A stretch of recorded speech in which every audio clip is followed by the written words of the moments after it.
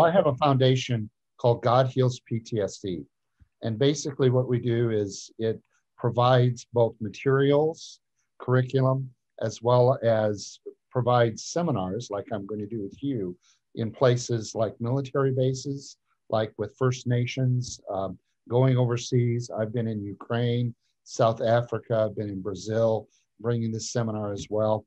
And the foundation just enables me to be able to raise the kind of funds that are necessary to go to these places that are not able to do a love offering or can't the the the income or the resources aren't there for me to be able to go. So it helps provide not only the resources for to deal with my expenses, but mm-hmm. also we give away a lot of our material to mm-hmm. people. I mean, when I was in the um, the Navajo Nation, for instance, we gave away a whole case of the DVDs, CDs, the curriculum material for the uh, native pastors to use in teaching our people how to bring healing to the trauma. So yeah. that's that's what it does. We we're just there to provide educational resources to bring an, another understanding of how healing prayer can be a treatment to bring healing to any kind of trauma. But as you said, the idea that uh, the enemy would try to rob our identity, it, it speaks to the power of the body of Christ and uh, having somebody get access to life-giving relationships in the church, people that they can trust. And you know, it always points back to the character of the leaders as well, that that they are trustworthy people that won't take advantage of a vulnerable population.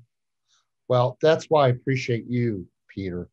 You know, there's a lot the church never talks about trauma. We really don't. It's something that most churches don't want to touch. They leave it to the psychologist, to the psychiatrist, to the counselor's office. But the reality is, we as the church have the greatest tool to bring healing to trauma, and that's the power of the blood of Jesus Christ, and that's healing prayer. You know, when when it says in Isaiah 61 about Jesus, he says, The Spirit of the Lord God is upon me because the Lord has anointed me to declare good news to the poor, to the afflicted, to the traumatized. And then he says this I've come to heal the brokenhearted and to bind up their wounds. Brokenheartedness literally means to have a shattered soul. And in the church, we we talk about, we tell people, well, just pray more, read your Bible more, come to church more.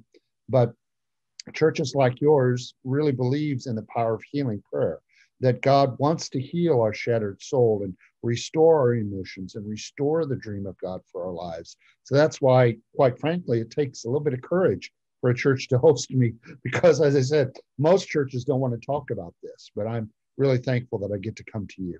Well, I'm married to Trish, you know, so she was doing deliverance from the first day I met her. And, uh, you know, what surprised me after, you know, I didn't have the training, the, the formal training in psychology, but we were seeing people get healed of things emotionally that changed their physical makeup women that had been abused as young girls that kind of shut down and stopped developing in their natural state. When they got healed, their bodies changed, eh, even though they were adults.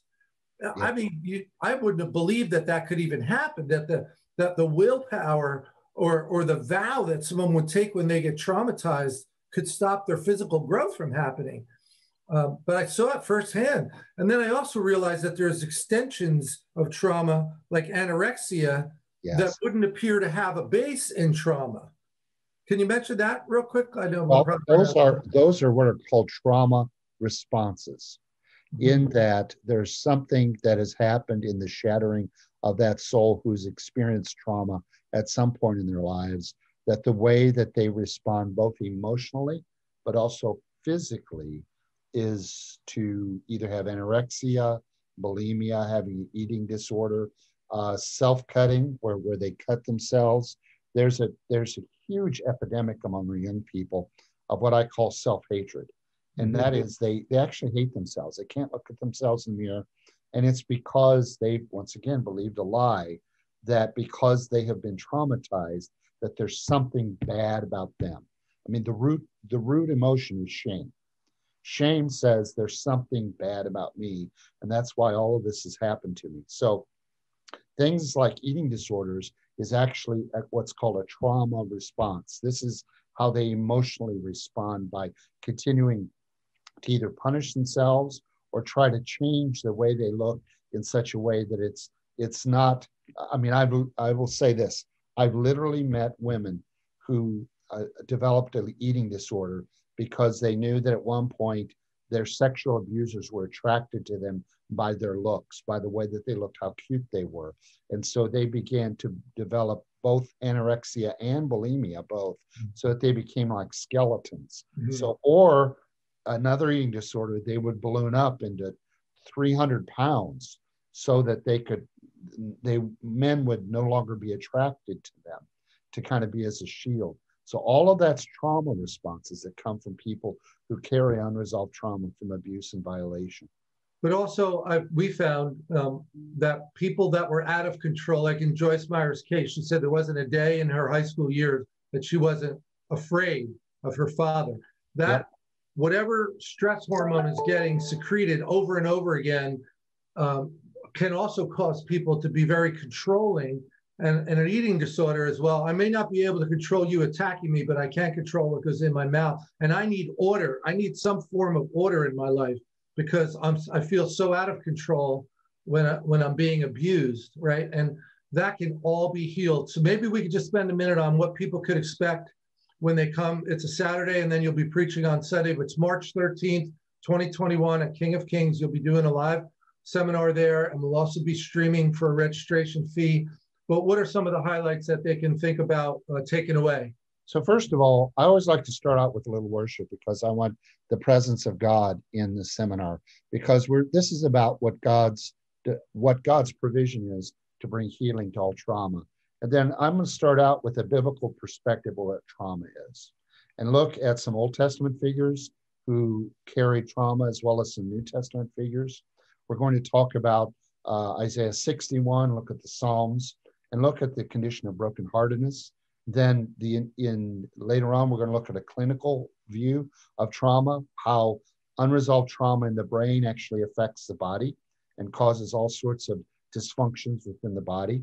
Where in the midst of that, you're going to get testimonies, video testimonies of people who have been healed of trauma and actually experienced not just emotional and mental healing, but actually experienced physical healing once their trauma was completely resolved. Mm-hmm. Then, after that, after the testimonies and understanding that, then I'm going to walk everybody through that healing prayer model.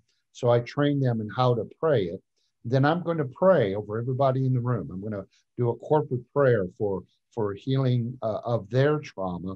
And then at the end, we do what you're familiar with, Peter. We do an impartation. That is, I want whatever anointing God has given me in my life to bring healing to trauma. I want that passed on to everybody that's in the seminar. So it's going to be a time when the Holy Spirit's going to come and bring a fresh impartation of whatever gifts, grace, and anointing there is to bring healing to trauma. But I want people to understand that I always approach trauma with joy because the Word of God says that Jesus, knowing what was before him, went to the cross with joy because he knew that on the other side of the cross, there was healing and restoration, and that the dream that God has always had for man would be on the way to being restored.